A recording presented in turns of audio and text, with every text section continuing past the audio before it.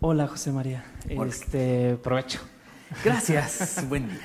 Oye, ¿cómo estás hoy? Este, ¿no te sientes emocionado? ¿Cómo te sientes? Sí, contento porque va a salir perdida próximamente.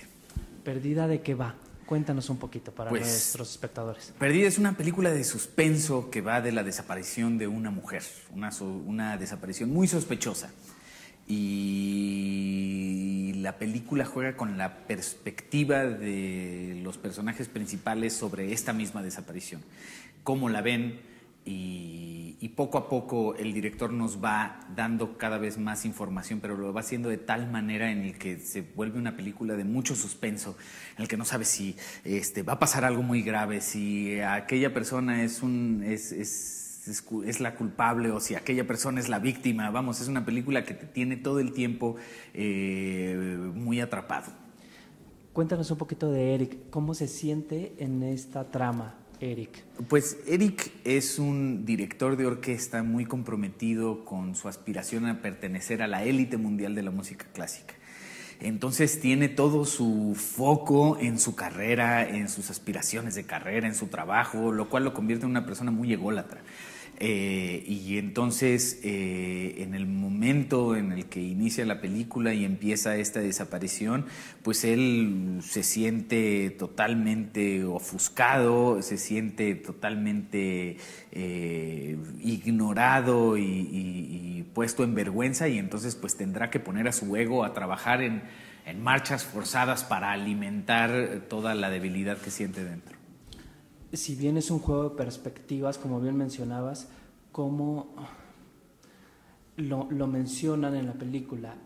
¿Tú consideras que Eric, el personaje protagónico de la película Perdida, tiene escrúpulos?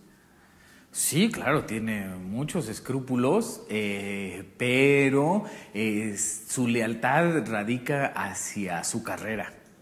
Eh, entonces todo lo que no venga con su carrera lo va a desechar y todo lo que esté en pro de su carrera lo va a recibir y lo va a explotar.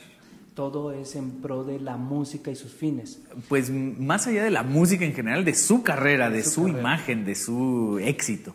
Y en la película, ¿qué nos podrías decir de la música? ¿Qué va, qué va a encontrar el espectador de la música? Ah, muchísima, excelente, buena música. Tenemos la gran fortuna de que uno de los compositores más importantes del país, que se llama Enrico Chapela, eh, no solamente compuso el tema principal de la película, sino que hace todo el score, todo el soundtrack eh, de la película. Es, eh, es, es un trabajo en el que la música acompaña casi el 95% de la película y, y, pues la verdad es que sí, la película tiene como uno de los personajes principales, un músico muy clavado en la música y el, el ojo de- de- de- del director y el, el- el ojo de la película, por así decirlo, eh, pues está totalmente apoyado en la música. Es una película tremendamente musical.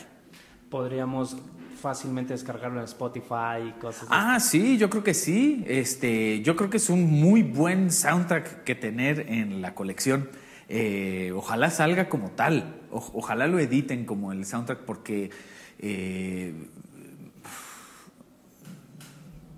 no es muy normal que un compositor de los mejores del país y de los mejores de Latinoamérica y de las grandes promesas del mundo se dedique a hacer una película. Eh, Pasan luego 50 años y de repente te enteras de que aquel gran músico mexicano eh, colaboró en aquella película. Y dices, ¿qué? ¿cómo? A ver dónde está ese trabajo, ¿no? Eh, Enrico Chapela es un, es un compositor muy importante. Eh, y, y en 50 años va a ser muy sorprendente que Enrico Chapela se haya dedicado, o sea, nos va a parecer muy sorprendente que se haya dedicado a, a hacer una película. Hoy José María de Tavira se lleva dentro de sí ese soundtrack. Ah, sí, claro, sí, por supuesto. Por supuesto, porque además es música que tuve que interpretar y para poderla interpretar bien la tuve que hacer mía. Entonces, este, sí, por supuesto que me llevo ese soundtrack a la tumba.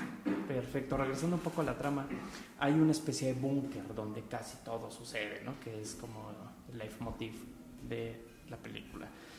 Este, funciona como un sistema panóptico, ¿no? Más o menos así yo lo entiendo. ¿Qué sensación crea en el espectador el sentirse observado según?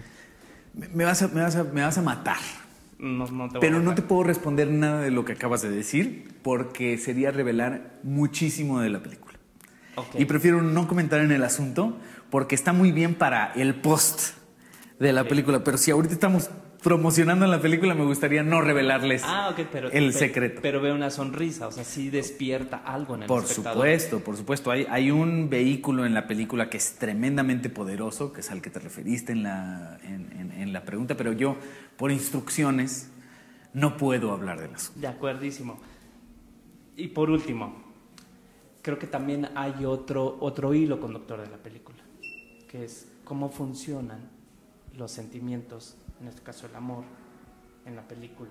¿Se transmuta o comienza desde cero nuevamente? Híjole, que es una muy buena pregunta. Yo creo que se transmuta eh, y ahí lo que, lo que ves es lo que se revela en esta transmutación de- de- del amor, lo que revela es la esencia de Eric como persona.